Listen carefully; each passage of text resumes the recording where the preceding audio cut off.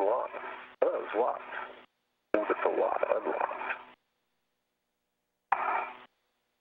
Seeing an up close view here from Mission Specialist red, Dave Wolf's helmet camera. Green.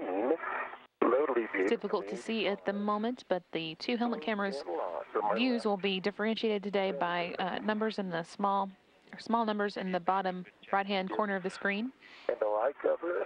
Wolf will have a 16 in the bottom of his view, and Marshburn will have an 18 in the bottom of his view. And I see the cable running out of the airlock. Out of my view, as it should. That is all. Sounds good. Okay. Tom, I'm going to put that back outside. Is it running free? it is. Our tethers are separated. It's free. I believe we don't have a picture from Tom's helmet. Lights off. Lights off. Right side, yeah. Little lower, a little outboard. That's it. Lights on.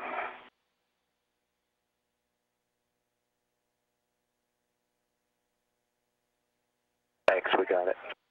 Good. My lights aren't on.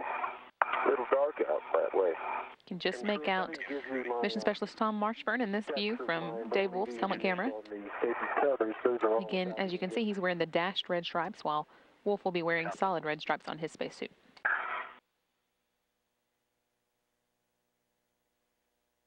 I don't quite see your HCM handle. Right one. It's behind your PGP. Okay, I see it. It's down. Manual isolation valve is down. Mini workstation tabs are up. Safety tether's clear.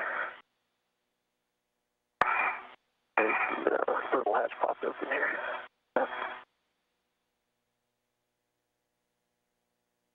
Do a catch hockey. We'll put it in work.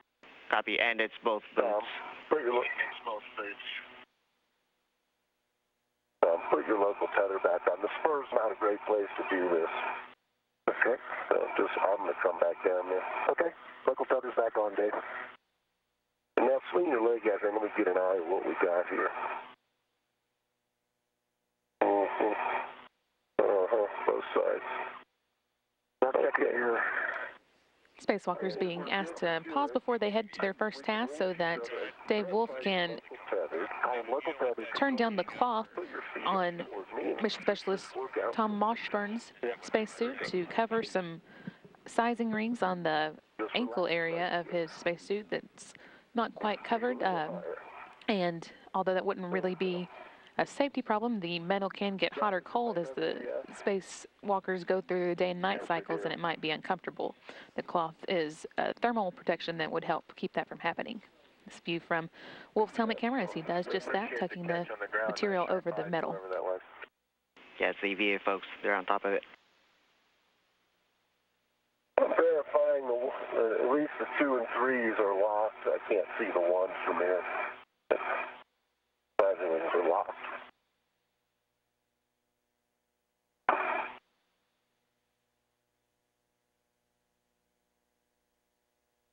Well, Tom, yourself, you're tethered on your right, let yourself yaw left so I can get behind to the, close your, let yourself yaw.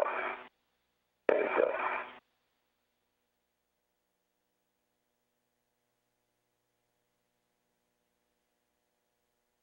like knitting a pair of socks.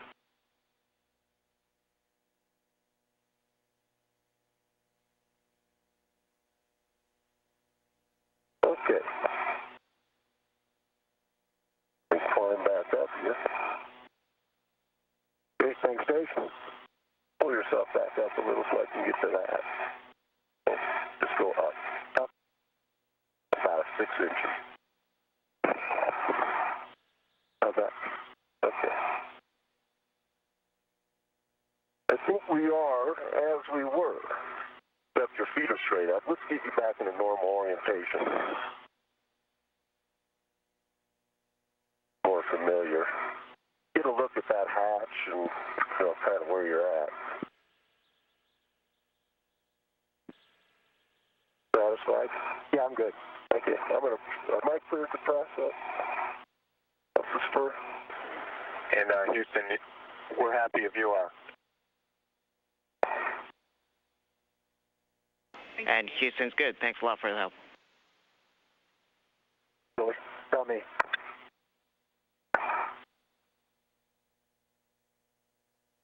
How you Julie? Loud and clear. Mission Specialist Julie Payette will be working with pilot Doug Hurley to operate the robotic arm. Handrail of, of your choosing up there. Number three verified. Good numbers. 10 to 11 turn. Copy.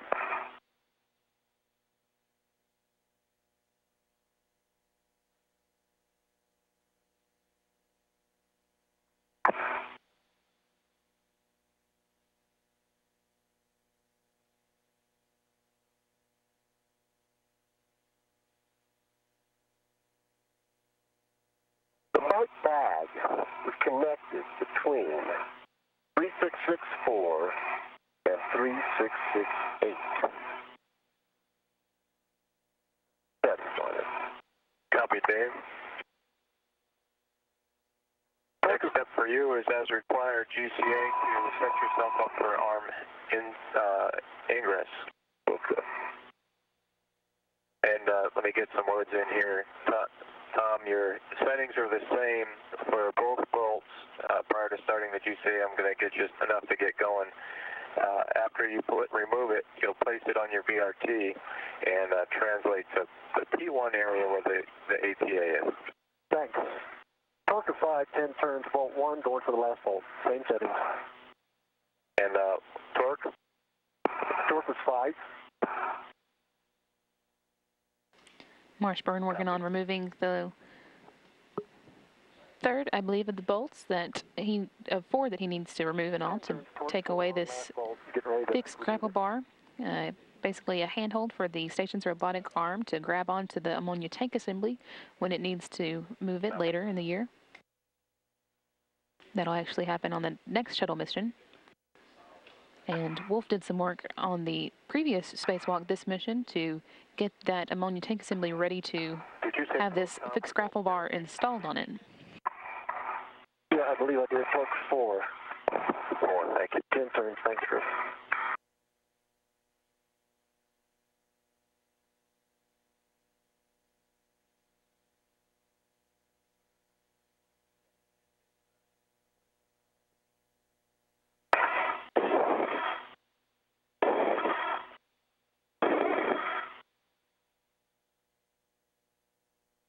For those who are watching NASA TV on the Education Channel, we'll be taking a break from mission coverage to go to an Apollo 11 anniversary event being held at the National Air and Space Museum.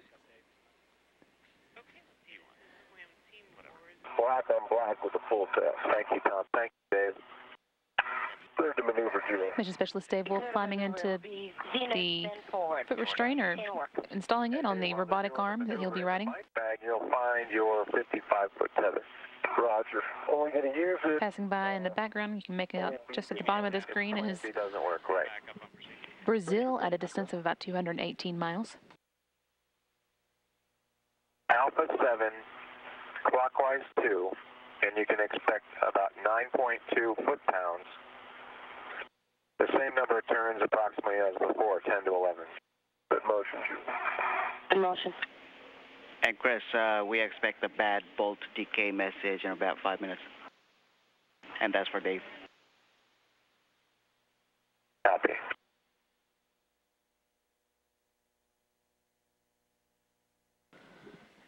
Dave, you can view of mission specialist Tom Marshburn's helmet camera here as he gets to work uh, installing that fixed grapple bar that he just took off of the ex- external storage platform 2, installing it here on the Pat volt decay. ammonia tank assembly on the port 1 segment of the station's truss. Uh, it's a great place. Instead of uh, the ingress position. Let me let me press with the swap here before you before you move it. How, how bad Copy, Dave. How bad is it to come back down a, a foot or so? Oh, we were going to. Uh, we weren't finished with our maneuver. Oh, okay. Go ahead and finish it. Uh, that's fine. Copying. Continuing. Zenith. It's been a while. Marshburn will have Okay, should've done it four bolts to install to get this grapple bar secured onto the ammonia tank assembly. And again, that will be used during the next shuttle mission to do some exchange work on the ammonia tank assembly. At time? Yellow, closed and locked. D-ring on the end effector itself, the gold one. 55 foot unlocked. I am tethered. Load alleviator red, lock on my left extender, closed and locked. I am, I am tethered to the arm now, but remaining locally tethered on the truss for the maneuver, watching the cable. I believe you're cleared now for your full maneuver.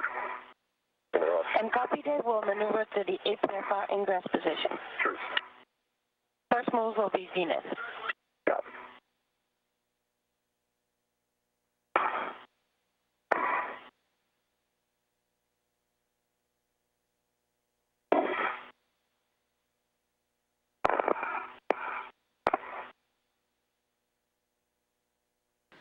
Mission Specialist Julie Payette letting Mission Specialist Dave Wolf know that he is able now to get into the foot restraint that will let him ride inside on along on the station's robotic car. Meanwhile, Tom Marshburn has three of his four bolts that are holding down will secure the fixed grapple bar to the ammonia tank assembly installed.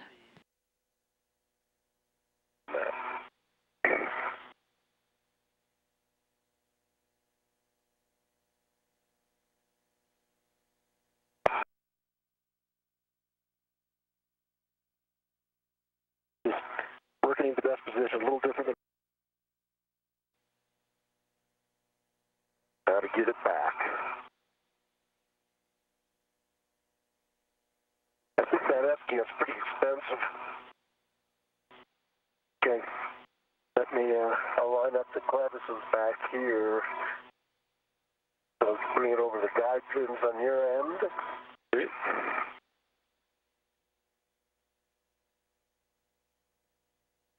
Quite close because these clevises are quite close.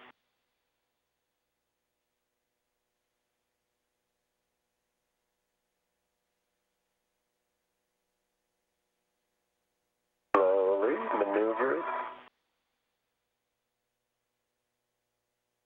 Okay, Dave, I think it needs to come towards me a little more.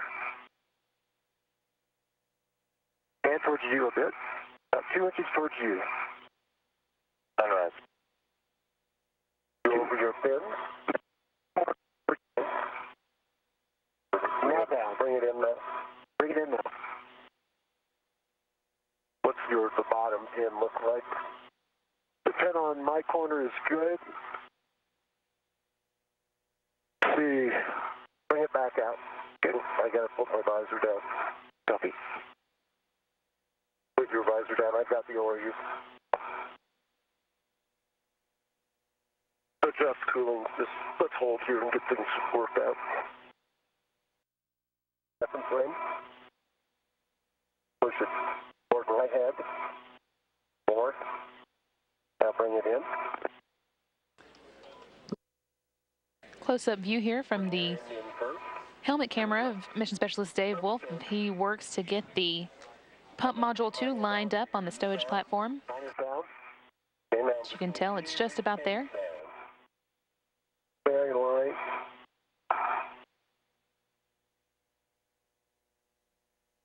Okay, I'll keep it here. You prepare your copy. Okay.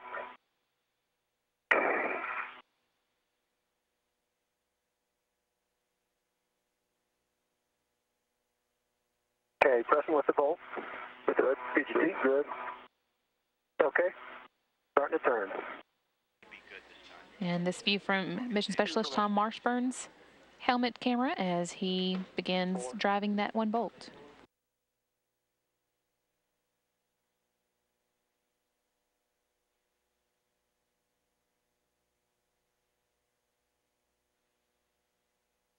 Okay, it's torqued out. 6.9, 10.1 turns.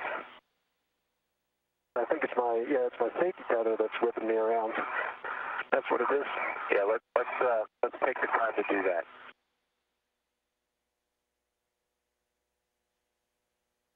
We're now 5 hours, 30 minutes into today's spacewalk.